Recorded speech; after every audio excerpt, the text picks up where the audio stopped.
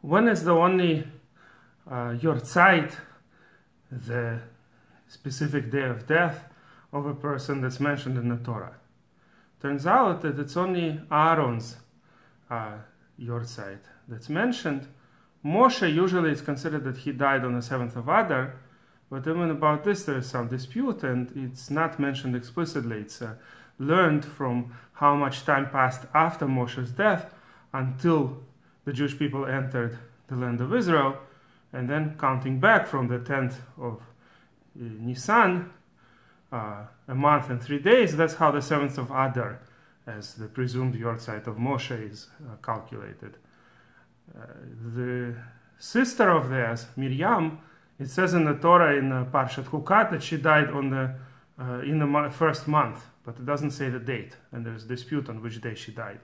But about Aaron, we just read the previous Shabbat that he died on the first day of the fifth month, which is Rosh Chodesh Av, which is today, Monday, the week of Parshat Dvarim. And uh, I think it's not a coincidence that we always learn uh, about the death of Aaron that at the time when the, uh, first of all, it's read in the Torah, uh, right, in, on Shabbat before that. And secondly, it's at the time when we start the nine sad, saddest day of the year, the period of the first nine days of the month of Av, which culminate with the destruction of the temple. Aaron, of course, was known to be the man of peace, and we need peace so much, the peace between us. When the Jewish people are uh, hating each other, and when there is no peace among us, then all the enemies come and destroy us. And that's how the second temple was destroyed, according to our sages, because of the enmity between the Jewish people. And that's why it's so important when we commemorate the destruction of the temples and we have to fix whatever was destroyed then. And we have to remember the Yortzeit of Aaron. When Aaron died, the Jewish people were uh, uh, eulogizing him and were, uh, were uh, commemorating his uh, death for the following month. So it's certainly a good time now to remember what Aaron represented and what we have to do to be better.